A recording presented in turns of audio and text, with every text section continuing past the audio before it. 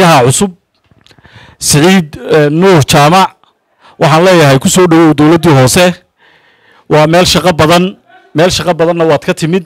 Kol haddaad gaadiidkaa maamulaysay insha allahu tacaala halkanna waad ka bixiya shaqada waa waxa waa nin waa nin saaxiibu salaada oo wadaada. Dee iskuulkana waaba ka sheegay.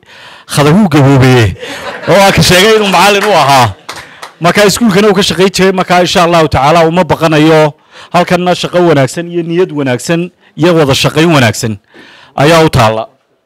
Waxaan u sii ducaynayaa xogayii hore oo hadda joogay saddex sanno waan u sii ducaynayaa oo waxaan leeyahay ilaahay halkaa aad doonatay xildhibaan inaad noqoto golaha deegaanka aad isu sharaxday ilaa allaha ku siiyo.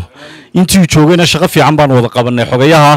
Xogayuhu waa mashiinka shaqada dhaqaajiya golaha deegaanku waxay soo qorsheeyaan. Annaga golaha deegaankana maamula.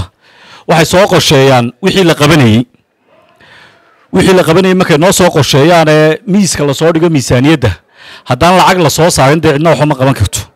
Mashiinka shaqada dhaqaajiye waxaa soo degmaaya waxaa meel walo dakhli ka soo baxayo. Samaynaya waa xogayaha dowladda hoose.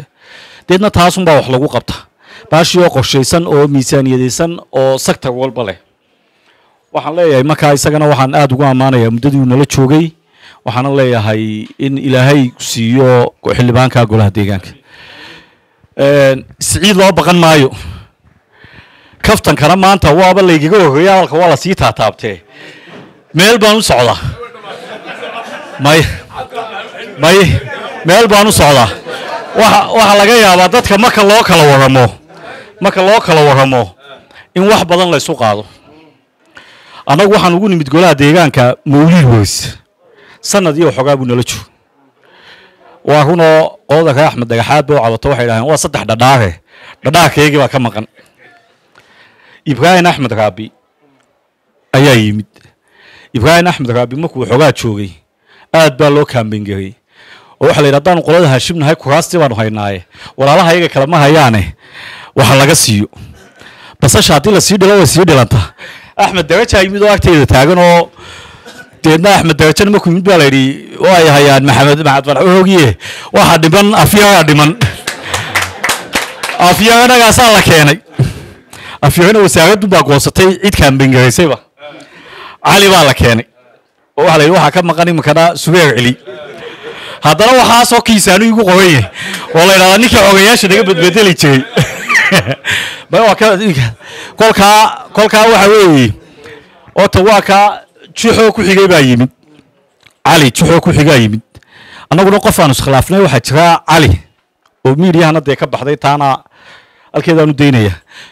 Ninkaa juxa xagga xaafaddiina mooye meel xaafadoodii kaambeyn kagama iman iminka markii la fikiray la fikiray waxaa la yidhi xaafadda axmed dhagax ducayaalkoogii oo la siiyo mooyaane si aan la ysugu qabsan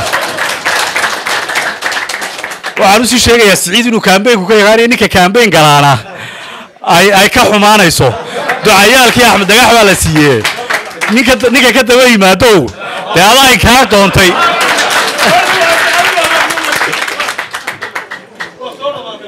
Golaha golahan golahan iyo golaha dambeba uu joogi doonaa. Anna musharax baan insha allah inaan golaha dambe soo noqdo.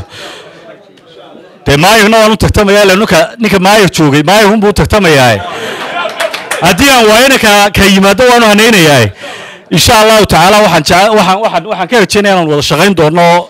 Ta dambana haddii ilaahay yidhaahdo